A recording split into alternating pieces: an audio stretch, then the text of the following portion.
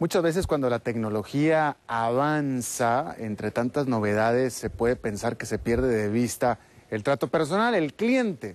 Bueno, pues bien, aquí le vamos a presentar el informe de un banco en el que la tecnología se enfoca a descifrar las necesidades y expectativas específicas de usted, el cliente. Es el Banco del Futuro. Bienvenidos al Banco del Mañana.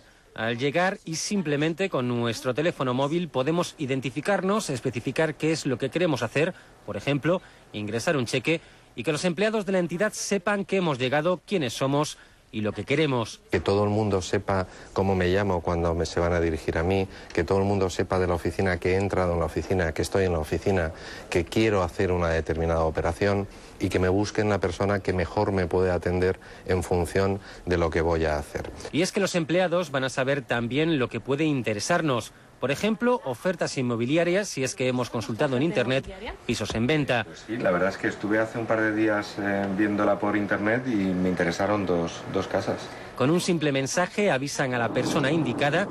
Sí. Llegó en cinco minutos. Que puede usar lo último en tecnología táctil para enseñarnos inmuebles y calcular un crédito hipotecario. Como ves, aquí tenemos diferentes imágenes. Tú puedes interactuar también por cada una Esto de es una ellas. oficina replicable mañana. Toda la tecnología que está aquí expuesta y coordinada permite eh, tanto su gestión como su explotación de una manera inmediata. Hay cosas que son punteras, pero que son absolutamente gestionables en este momento. Una forma, dicen en Telefónica, de hacer la experiencia de ir al banco más fácil para el cliente, pero también mucho más productiva para la entidad financiera. Bueno, vamos a abordar en este tema y está con nosotros Serge Elkiner, el expresidente de esta empresa que se llama Yellow Pepper, que es una eh, firma que provee soluciones móviles para transacciones monetarias y a pesar del nombre tanto de la empresa como de Serge, opera básicamente en Latinoamérica. Serge nos, se encuentra con nosotros desde nuestros estudios en la Florida. Muchas gracias por estar con nosotros. Gracias Alberto, gracias por tenerme aquí. ¿Estoy diciendo tu nombre bien? ¿Es Serge? Sí, perfecto. Ya, perfecto. Bien, hab- dime una cosa. El, cuando, eh, muchas veces cuando nosotros vemos que avanza la tecnología, en gran cantidad de los casos, se trata de eliminar a la gente, se trata de ahorrar costos en empleados y se trata de hacer que el consumidor o el cliente empiece a tener más eh, interacción con precisamente con eso, con tecnología, con grabaciones, con computadoras, etcétera. La pregunta es, en el caso del banco, en lo que nos ocupa y a lo que tú haces, ¿de qué manera se mejora la experiencia del cliente con el uso de la tecnología?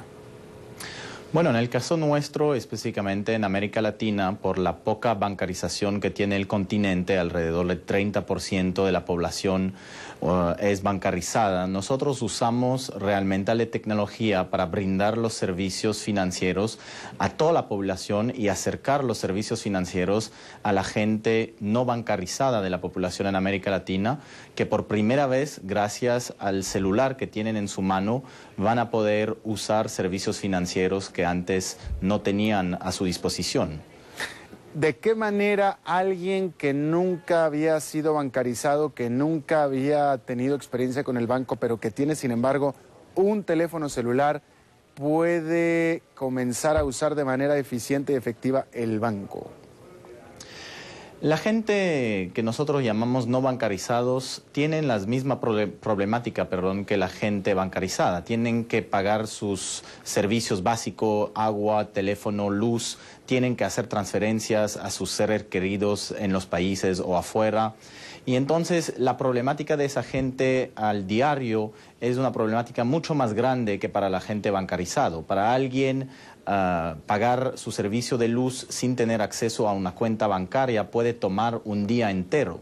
Gracias al teléfono celular y a los servicios que brindamos en ah, conjunto con las operadoras de servicios celulares y con los bancos, permite en 10 segundos a una persona no bancarizada de pagar su servicio de luz. Y eso obviamente mejora la vida de esa persona. Ahora, dime una cosa, Serge. eh, eh, eh, ah, una persona que no es bancarizada, yo, a lo mejor es estereotipo, dime si no, pero me pareciera a mí que típicamente es una persona que, que es más, eh, que es pobre, es un extracto socioeconómico bajo.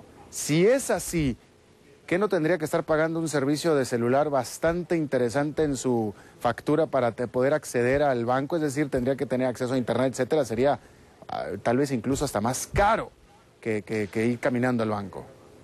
Correcto, y creo que es un estereotipo que tenemos todos nosotros. Los servicios que estamos brindando nosotros no depende de un servicio por celular, por internet, son mensaje de texto tradicional o tecnología que se llaman SIM browsing, que están eh, en todos los teléfonos celulares de las operadoras celulares en cualquier país de América Latina y que están ofrecidos por los bancos y las operadoras celulares de manera gratis al usuario final. Entonces, una persona que no está bancarizada no quiere decir que es una persona que no tiene recursos. Son un poco más pobres, sí podemos decir esto, pero sí tienen dinero y el problema que han tenido en su vida es que nunca han tenido la infraestructura y el ecosistema que nosotros brindamos para poder acceder a los servicios de financiero en su país. Entonces, lo primero que hacemos con la operadora celular y con el banco es armar el ecosistema que permite a esa gente, a esa gente, perdón,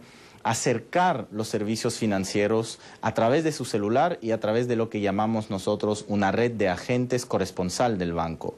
Gracias a esas dos componentes, hoy día pueden tener acceso a cuentas eh, bancarias o cuentas bancarias que llamamos billeteras móviles, mm. depositando un mínimo como de 5 dólares y no necesariamente el mínimo que piden los bancos hoy día. Yo, yo por lo que pude ver de la compañía de ustedes, ustedes operan en algunos de los países más pobres de América Latina. Eh, ¿Qué tanta, cómo puedes eh, eh, darnos cifras de la penetración que han tenido ustedes en estos países? Nosotros a la fecha tenemos más de 2.7 millones de usuarios que usan mes a mes el sistema eh, nuestro que traemos otra vez con bancos y compañías de servicios celulares. Eh, estamos en país, como tú dices, eh, como Haití, donde tenemos con Scotiabank y el operador celular Digicel un producto que se llama Chocho Mobile, que ha sido introducido hace un mes en el mercado y que ha funcionado muy bien. Estamos en país como Ecuador, donde con eh, Porta, la operador móvil más grande del país, y el Banco Pichincha, el banco más grande del país, hemos traído un proyecto que se llama Money, que acabó de ganar un premio del Banco Interamericano de Desarrollo, un premio de Beyond Banking, que permite otra vez a esa población generar transacción financiera a través de su celular Hoy tenemos 9 millones de transacciones en el mes de noviembre entre los diferentes países donde estamos y estamos creciendo casi un 15% mensual. Entonces creo que eso realmente, como tú bien lo dijiste, es el banco del futuro, no solo por las personas bancarizadas, pero más bien mm. por las personas no bancarizadas que nunca han tenido la posibilidad de tener servicios financieros en nuestros países. Serge Elkin, el presidente de Yellow Pepper desde nuestros estudios en Florida. Muchísimas gracias por tu tiempo y tu visita. Gracias, Alberto.